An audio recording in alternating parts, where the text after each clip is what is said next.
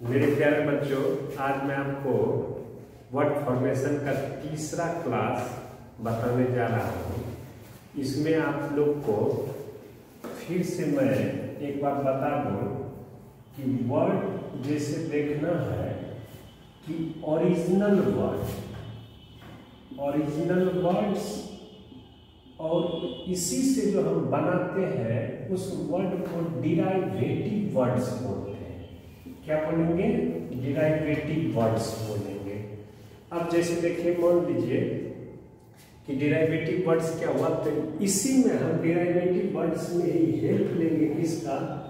Prefix infix और suffix लेकिन एक चीज़ ध्यान रखना है कि इसमें ओरिजिनल वर्ड में ही जोड़ के ये सारा ये सब वर्ड जो बनेगा वो डिराइवेटिव वर्ड्स कहलाएगा।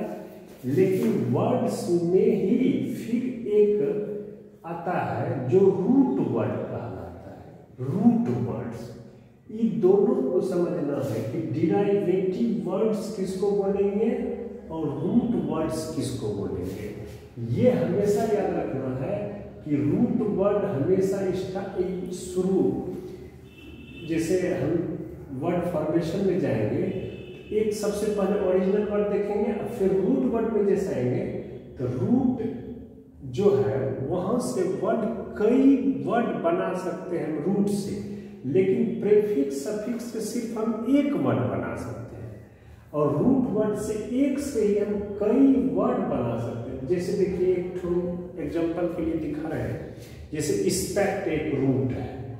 इस्पेक्ट से हम कई वर्ड बना सकते हैं, जैसे स्पेक्टेकुलर ठीक? Introspect introspect retrospect retrospect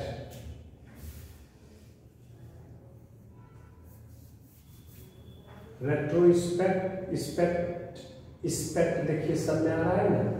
retrospect फिर जैसे देखिए इंट्रोस्पेक्शन इंट्रो स्पेक्शन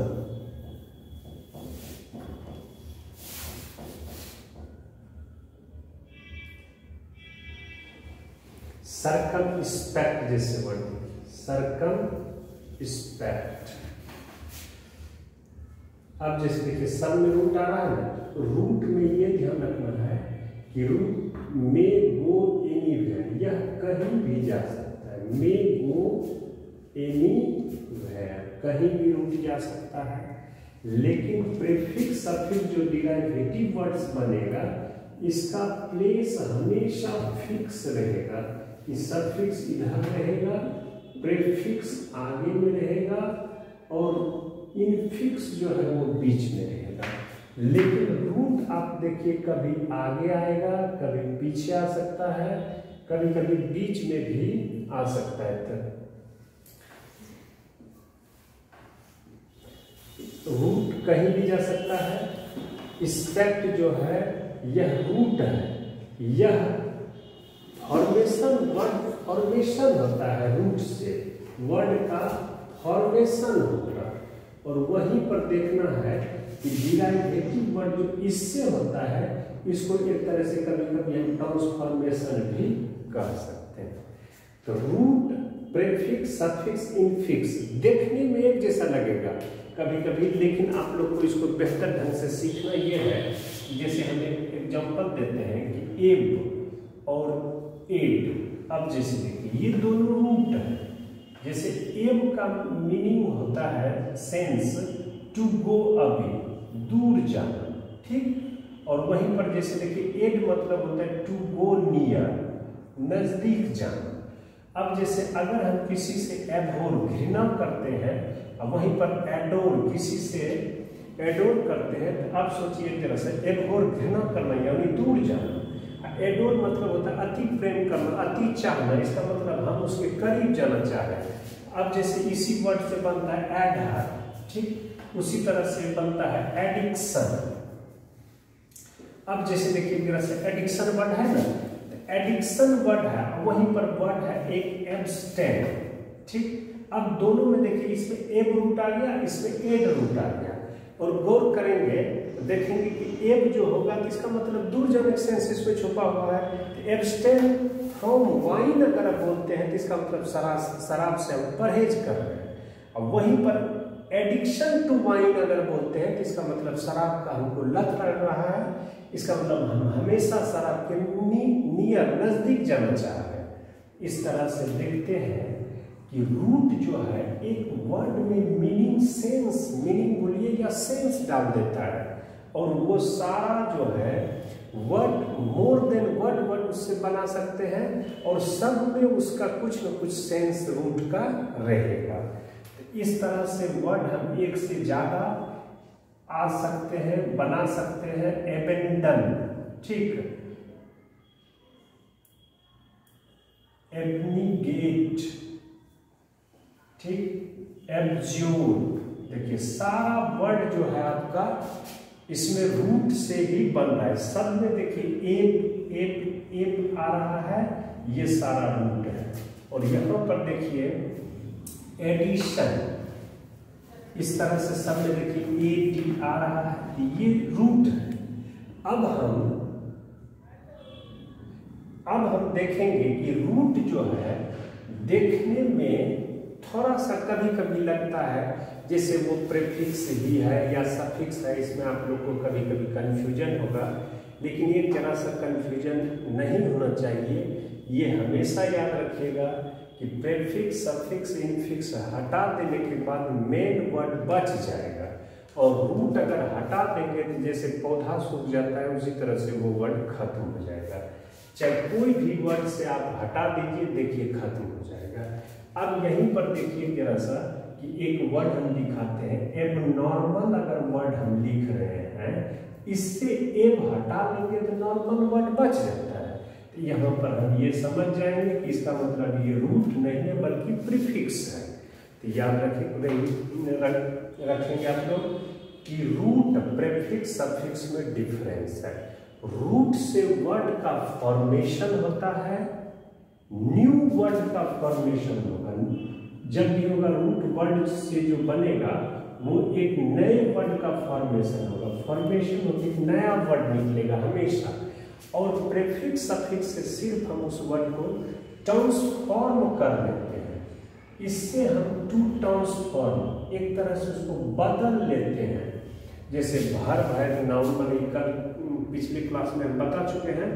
इसमें हम वर्ड को वर्ब से जैसे नाउन कर लेते हैं नाउन से एडजेक्टिव कर लेते हैं एडजेक्टिव से एडवर्ब कर लेते हैं। इसमें हेल्प हम लेते हैं प्रेफिक्स सफिक्स इनफिक्स यानी आप कह सकते हैं कि डिराइवेटिव वर्ड्स जो है, वो ओरिजिनल वर्ड से बनते हैं और इसके हेल्प से बनते हैं और इसको ट्रांसफॉर्मेशन भी कह सकते हैं। इस तरह से आप देख रहे हैं कि वर्ड जो है फॉर्मेशन के अंदर ही हम ओरिजिनल वर्ड जाने डिराइवेटिव वर्ड्स जाने और रूट वर्ड्स जाने। ये चीज़ ध्यान रखना है कि ओरिजिनल वर्ड जो है वो लेटर लेटर लेटर से जुट के जो वर्ड बने, उसी को क्या बोलेंगे? ओरिजिनल वर्ड या कभी कभी लेटर लेटर लेटर जुट के जो बनता है, वहाँ पर हम पहले एक बड़ा वर्ड अगर बनने लगे, उस जगह पर सिलेबल बन जाता है। और सिलेबल फिर सिलेबल सिलेबल जुट के फिर क्या बन जाता है? वर्ड तो कभी कभी जैसे बड़ा वर्ड बनता है तो वो लेटर लेटर जुट के सिलेबल हो जाता है। सिलेबल सिलेबल फिर जुट के क्या बन जाता है? वर्ड तो इस तरह के वर्ड को हम क्या कहते हैं? ओरिजिनल वर्ड कहते हैं। यानी आप कह सकते हैं कि ओरिजिनल वर्ड बनने के लिए आपको लेटर का ज़रूरत पड़ेगा और अगर बड़ा वर्ड बनेगा तो वहाँ पर आप सिलेबल कह सकते हैं कि एक स्टेप आगे बढ़ जाता है। ओरिजिनल वर्ड डिराइवेटिव वर्ड और रूट वर्ड थोड़ा सा क्लियर हुआ? ये तीन वर्ड फॉर्मेशन के अंदर ही तीनों चीज़ आता है। और अब जैसे ओरिजिनल वर्ड के लिए हमको लेटर चाहिए सिलेबल चाहिए डिराइवेटिव वर्ड्स के लिए हमको प्रीफिक्स इनफिक्स सफिक्स चाहिए और रूट वर्ड के लिए हमको रूट चाहिए। हमेशा याद रखिएगा, इसके लिए आपको क्या चाहिए? रूट तो जैसे एक सौ, डेढ़ सौ के लगभग प्रेफिक्स सफिक्स इनफिक्स है, उसी तरह से ऐसे बारह सौ सबके लगभग रूट है। लेकिन एक सौ रूट ऐसा है जिससे बहुत सारा वर्ड बनता है। तो रूट सफिक्स प्रेफिक्स इनफिक्स ये सब चीज़ आपको ज़रूरी है। अब हमको ये आज और बताना है आप लोग को कि वर्ड कितने तरह के होते हैं स्ट्रक्चर के अनुसार। स्ट्रक्चर के अनुसार not parts of speech structure के अनुसार वर्ड जो है, वह कैसे कैसे सोचेंगे वर्ड में क्या चीज़ हम सोच के उसको क्लासिफाई करेंगे? तो सबसे पहले चीज़ ध्यान दीजिए कि वर्ड कितने तरह के हो सकते हैं। जैसे देखिए, एक जो सिंपल हम लोग वर्ड बोलते हैं, सिंपल वर्ड फिर यही वर्ड होता है कंपाउंड वर्ड। फिर यही वर्ड हो जाता है कम्प्लेक्स वर्ड। अब है ये तीनों वर्ड ही, लेकिन जब हम इसको सीखने लगेंगे, तब हमको बहुत मतलब एक तरह से वर्ड को गौर करना होगा कि आखिर हम इसको वर्ड बोले कि कम्प्लेक्स वर्ड बोले कि सिंपल वर्ड बोले, यह जानना बहुत ज़रूरी हो जाता है। जैसे हैंड बोलते हैं तो यह एक वर्ड है, लेकिन वहीं पर हैंडमेड पिस्टल अगर बोलते हैं हैंडमेड पिस्टल यहाँ पर एक वर्ड का काम करने लगता है ये पूरी। अब जैसे देखिए उसी तरह से पेन बोले, अब वहीं पर जैसे किसी जब पेन मिस्टेक या पेन स्टैंड बोलते हैं तो ये कंपाउंड वर्ड बन जाता है। तो देखिए एक वर्ड हम जानते हैं कि ये वर्ड है, लेकिन इसको अगर गौर नहीं करेंगे तो लगेगा जैसे तीन वर्ड है, लेकिन यहाँ पर ये तीन वर्ड का काम नहीं कर रहा, एक वर्ड का काम अब यहाँ पर गौर करेंगे तो लगेगा वर्ड फॉर्मेशन में तो आप बोले थे sir letter fix fix fix root ज़रूरी होगा।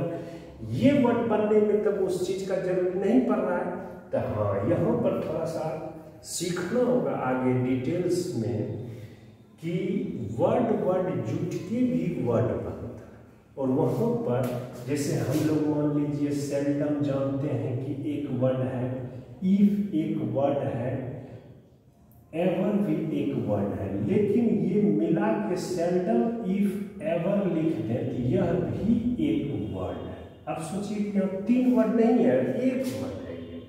और ऐसे ही वर्ड को क्या बोलते हैं? कम्प्लेक्स वर्ड और दो वर्ड का जो पेयर आता है, उसको कहते हैं कंपाउंड वर्ड और जो एक वर्ड रहे सिंगल वर्ड रहे उसको क्या बोलते हैं? सिंपल ये अकॉर्डिंग टू स्ट्रक्चर स्ट्रक्चर के अनुसार वर्ड तीन तरह का जैसे सेंटेंस भी हम लोग पढ़ेंगे आगे कि सेंटेंस भी तीन तरह के होते हैं। सिंपल कंपाउंड कॉम्प्लेक्स उसी तरह से आप लोग थोड़ा सा इजी करने के लिए बोल सकते हैं वर्ड भी तीन तरह के स्ट्रक्चर के अनुसार होते हैं। सिंपल कंपाउंड कॉम्प्लेक्स ठीक तो थोड़ा सा इसको आगे से प्रैक्टिस सीखने आप लोग को ज़्यादा मिलेगा। नहीं अच्छा जैसे एक एग्ज़ाम्पल दे रहे जैसे डू एक वर्ड है। लेकिन वहीं पर डाई भी एक वर्ड है। लेकिन वहीं पर अगर हम बोलते हैं ए डू और डाई सिचुएशन करो या मरो वाला स्थिति अगर ऐसा वर्ड बनाते हैं यहाँ डू और डाई एक वर्ड का काम करता है। जैसे a use and throw policy I use and throw policy कैसा policy use and throw policy अब थोड़ा सा सब अभी समझने में दिक्कत होगा, लेकिन हम बता रहे हैं इसको समझने की कोशिश कीजिए। यहाँ पर यूज़ एंड थ्रो जो है लिखो फेंको अब जैसे देखिए लिखो फेंको बोलते हैं, एक वर्ड है। करो या मरो वाला स्थिति है मेरा। तो इसको हम ऐसे बोल रहे हैं ना कि एक सिंगल वर्ड की तरह यूज़ कर रहे हैं। तो यहाँ पर ये गौर कीजिए कि ये एक वर्ड है। उसी तरह से डू और डाई एक वर्ड है। यह वर्ड जो है कंपाउंड कॉम्प्लेक्स वर्ड के तहत आ जाता है।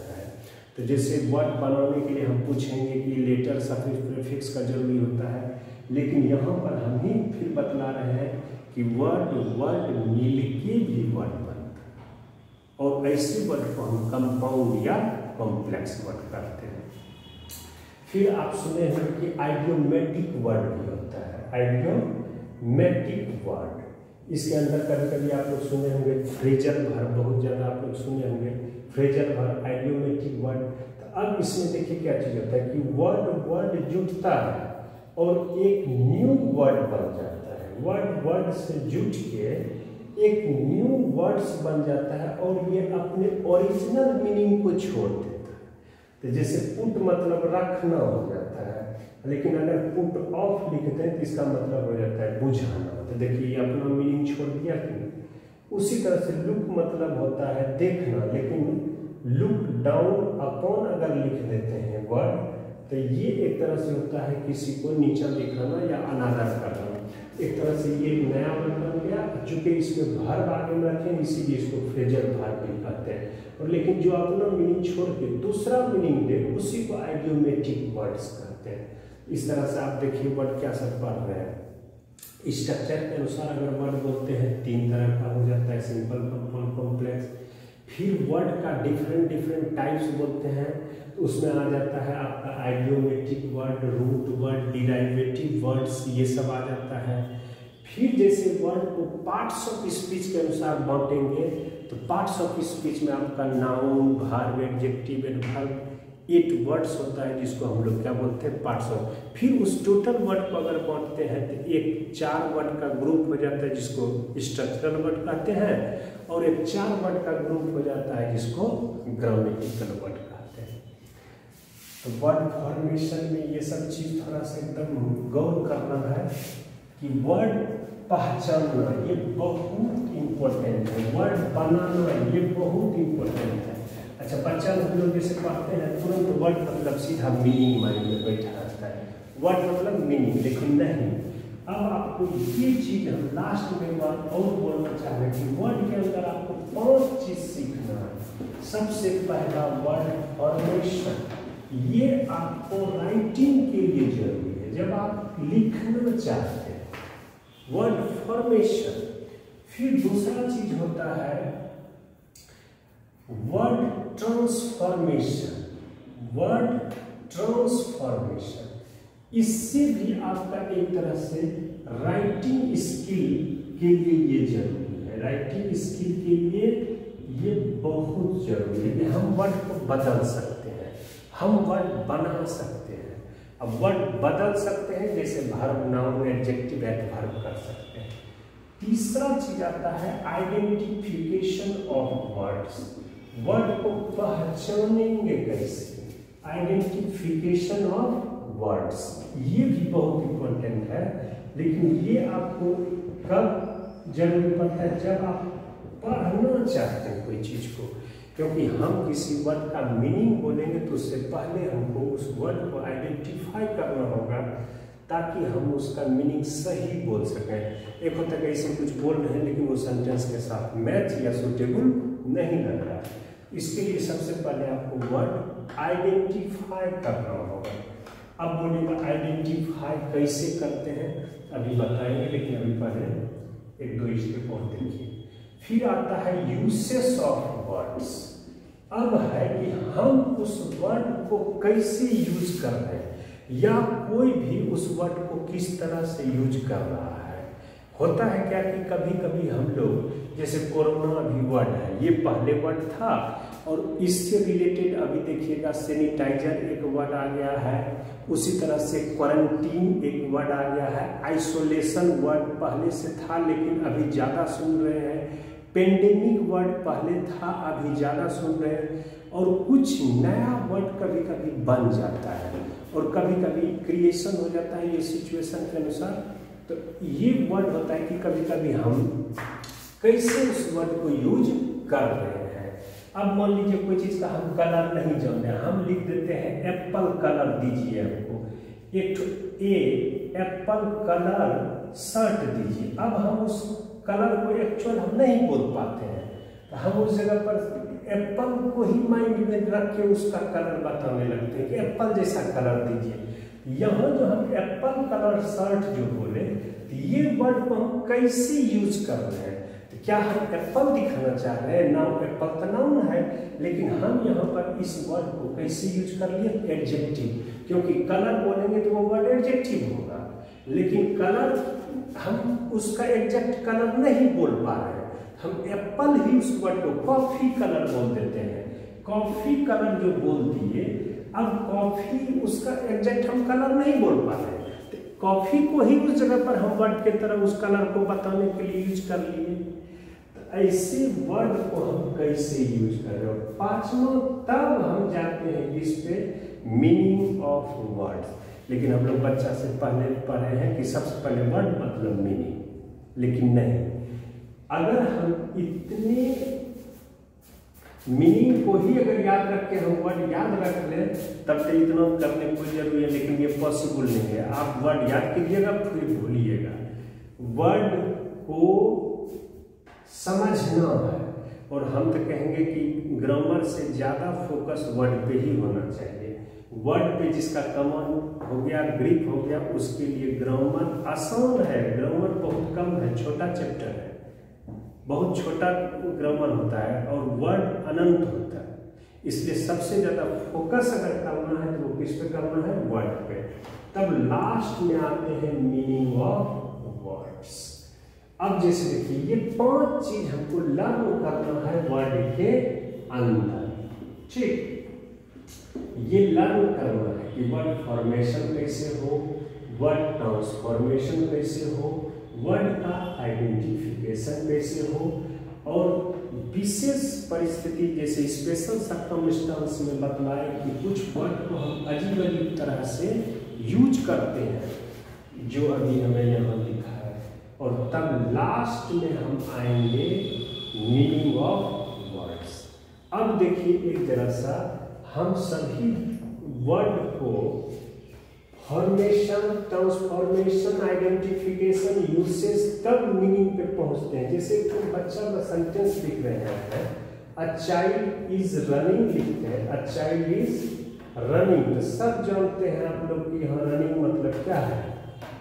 दौड़ना। लेकिन आप यहीं पर देखिए I am running my business I am running my business अब आप जो याद किए हुए मीनिंग है। क्या यहाँ आपका यह सेट करेगा? नहीं सेट करेगा। रनिंग मतलब दौड़ना होता है। मैं दौड़ रहा हूँ, मेरा बिज़नेस मीनिंग बैठा? नहीं। इसका मतलब होता है कि हम तुरंत जो मीनिंग पे चल जाते हैं, वह एक्चुअल में सही नहीं होता और इसीलिए हम पेपर मैगजीन सब पढ़ते हैं। तो हम बहुत चीज़ लगता है वर्ड पावर है? हमको ग्रामर भी जो है फिर भी हम मीनिंग नहीं लगा पा रहे तो वही अधूरा ज्ञान है, वो पूरा नहीं है। इसीलिए आप हमेशा उपडप करते रहते हैं। इसके लिए आपको ये प्रोसेस से जाना होगा अब जैसे देखिए, यहाँ पर ये वर्ड का मीनिंग जो है माई बिज़नेस जैसे ये भर बहुत इसका ये ऑब्जेक्ट है। ऑब्जेक्ट के अनुसार भी इसका इफ़ेक्ट इस वर्ब के मीनिंग पे पड़ता है, क्योंकि इसको यूज़ कर रहे हैं, इसके साथ यूज़ कर रहे हैं। इसके साथ यूज़ कर रहे हैं तो उसका पर्पस वहाँ पर चेंज हो जाएगा और वर्ड मीनिंग पर उसका इफ़ेक्ट पड़ जाएगा। इस तरह से वर्ड मीनिंग से पहुँचने के लिए ये प्रोसेस अपनाइएगा और यही सीखना चाहिए। फोकस इसी पर होना चाहिए आप लोग का। अब जैसे देखिए मेरा सा वर्ड फॉर्मेशन के ही अंदर ये समझ जाएगा तो वर्ड का यूज़ देखिए थोड़ा सा जो कंफ्यूज करते हैं, देखिए थोड़ा सा अब जैसे वर्क वर्ड है, ठीक, अब लगेगा ये भर है या नाउन है दोनों लेकिन हम अब इसको डिसाइड कैसे करें कि क्या है? तो जैसे मान लीजिए हम बोलते हैं I work I work honestly अब सिंपल समझिए यहाँ फुल स्टॉप दे दिए, ये सेंटेंस हो। अब जैसे देखिए ऐसा कि, जब आप किसी का सेंटेंस लिखा हुआ देखिएगा, और तब वहाँ पर आपको आइडेंटिफिकेशन ऑफ़ वर्ड्स करना होगा। तब इसके लिए आप उसका क्या देखिएगा? प्लेस एंड फ़ंक्शन दिक्कत? तो प्लेस एंड फ़ंक्शन और प्लेस देखने के लिए ही आपको स्ट्रक्चर फॉलो करना होता है। स्ट्रक्चर तो अब यहीं से शुरू हो जाता है स्ट्रक्चर और डेढ़ सौ से दो सौ के लगभग स्ट्रक्चर है जो धीरे धीरे बताएँगे।